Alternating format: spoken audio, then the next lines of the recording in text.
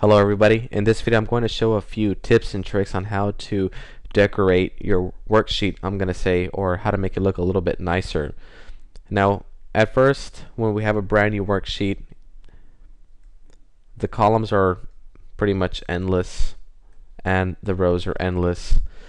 One of the things that I like to do in a lot of my workbooks is hide all of those rows so that we don't see them and that way we have a nice clean worksheet that you can say cuts off and the user can't scroll down any further.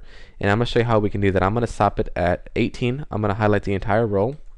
I'm going to hit Control Shift down. This is going to highlight every single row all the way down to the very bottom of the sheet. I'm going to let go of Control Shift down. I'm going to right click here and I'm going to select hide.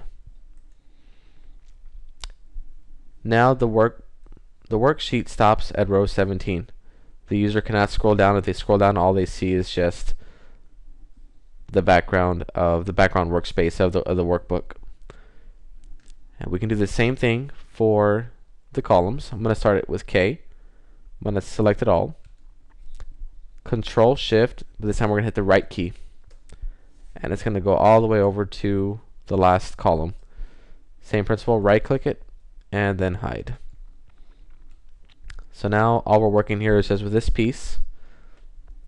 User can, uh, if the user scrolls over, all they're going to see is just an empty workspace. But now this is what you have to work with.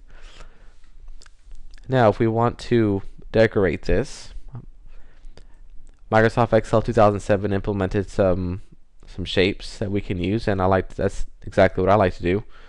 I'll use a shape right here, shape. Let's say at the top we want to put a little title here.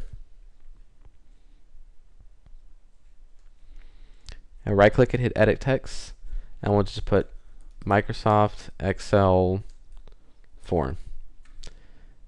And here, you, of course, you can change it. I mean, if you don't like this style, you can edit the shape. Maybe rounded rectangle. Okay. Change maybe the font size. You can highlight and then increase the font size 16. Now check this out. You can there's a lot of characteristics you can do under the drawing tools. You can do uh, shape effects. Put a shadow on the back if you want. Maybe give it a little bevel. That way you get a nice 3D look. And another question that I'm commonly asked is how do you get rid of the grid lines? There's two ways you can do that. Number one, you could fill the color as white and that would get rid of all the grid lines.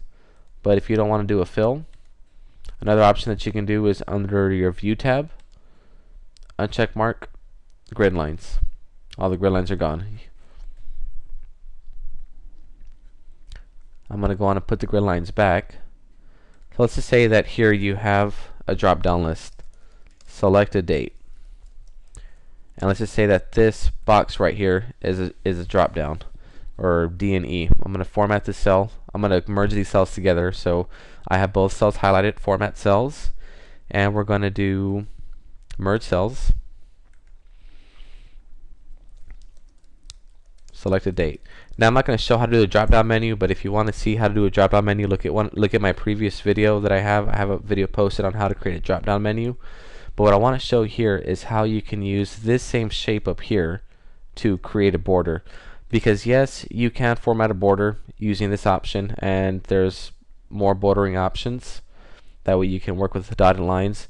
I mean, there are limitations as to what you can do with the border. So let me show you what you can do with the shapes. Go under your, go to insert, go to shape, and we're going to use the same shape, but I'm going to actually do the rectangle. And I'm going to put that over D and E, this specific field. Now that's useless. It blocks out the date, but what you can do is right click this, do format shape, and we're going to do under fill, select no fill, and hit OK. That actually makes this not so much transparent, but there's no fill, it's just a border, and you can still pick you can still pick this field. So we can just line this up so that it's better shape. There you go. and now you can make this look a little bit nicer. You can do um, the shape fill. You can do a gradient if you want. Actually no that's not what I'm looking for.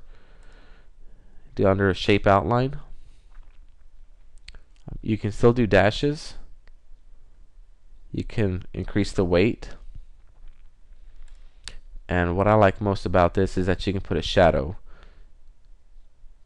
I mean there's many different views that you can do. The 3D rotation wouldn't be suitable in this case but what I like a lot again is just the 3D options. You can do a glow if you'd like. Perhaps a reflection. And these are options that you can't get using just a regular border.